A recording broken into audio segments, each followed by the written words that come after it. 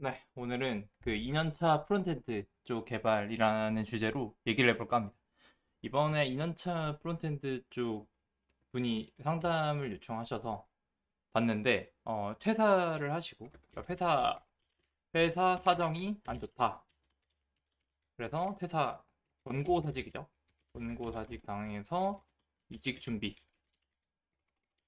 근데 이분 스택이 솔직히 뭐 나쁘지 않습니다. 뭐 Next에 뭐 그냥 시장에서 원하는 일반적인 스택들 뭐 Next 뭐 Recoil 뭐 React Query Tailwind 뭐 등등등 해가지고 뭐 되게 많고 뭐 사실 부족한 스택이라고 할 게 뭐 거의 많이 없는데요.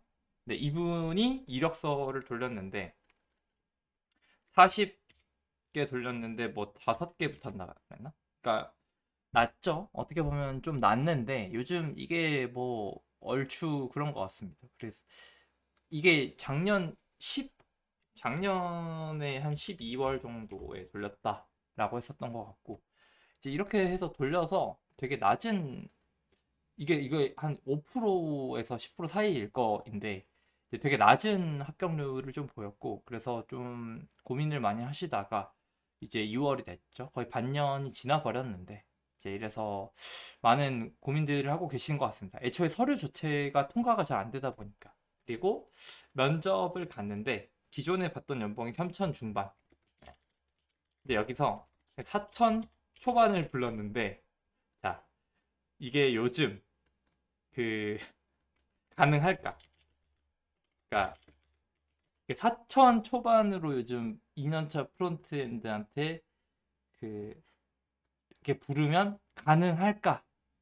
네, 저는 힘들지 않나라고 생각을 하는데 이제 실제로 면접 갔더니 예, 이제 대표가 놀랐다. 네, 요즘은 그럴 것 같아요. 요즘 2년차 정도, 그러니까 만 2년이 됐어도 어, 4천 주는 게 사실 그렇게 쉬운 선택은 또 아니거든요.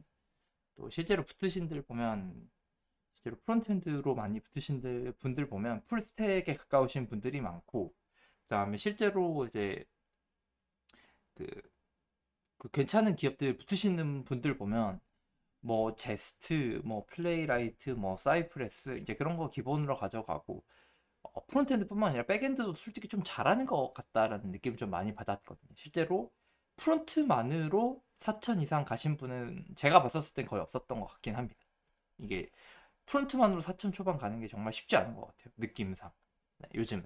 그래서 어, 이분이랑 얘기하면서 이제 뭐 이분도 근데 뭐 사이드 프로젝트 같은 경우는 뭐 Express나 뭐, 뭐 PostgreSQL 같은 거 물려가지고 TypeORM 뭐 이런 걸 해가지고 뭐 만든 게 있는데 이제 그건 사이드 프로젝트니까 좀 아쉬울 수도 있죠. 그래서 어 이제 이력서 가지고 이제 얘기하면서 뭐 고민을 많이 하더라고요. 4천 이상 가려고 하면 어떻게 해야 될까? 그리고 지금 상황에서 어떤 준비를 하면 될까? 어, 이런 이런 저런 고민들을 많이 하는 것 같습니다. 근데 생각외로 경력 시장도 많이 안 좋다라고 하더라고요. 이분이 하는 말이 연봉 깎고 가시는 분 많다.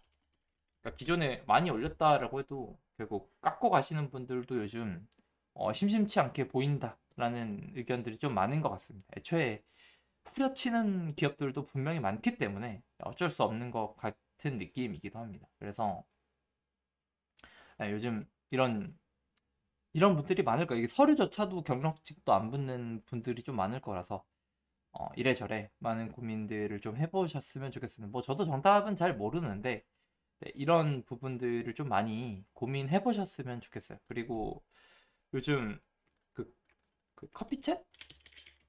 뭐 이런 거 뭐 뭐 뭐, 가 있나 봐요. 뭐 이렇게 하는 게 있는데 이거 그 돈 받고 하는 커피챗 뭐 이런 거 있잖아요. 이게 한 7만 원 정도 한다고 하더라고. 예, 커피챗이 아니지 않나 개인적으로. 네. 많이 비싸죠. 그래서 네, 뭐 이런 것도 한번 고민해 보시고 뭐 여러 가지 서비스들이 있습니다. 네. 그런 거 많이 고민해 보시고 어 상담 받는 거 나쁘지 않은 것 같거든요. 물론 이건 좀 비싸지 않나 개인적으로 생각하는. 저도 좀 비싼 편에 속하긴 하는데 뭐 인프라 멘토링 쪽에 뭐 1만 원이신 분들도 되게 많으니까 그런 분들한테 한번 맡겨봐셔도 괜찮을 것 같습니다. 네, 오늘은 이 정도로 마무리 지어보겠습니다. 감사합니다.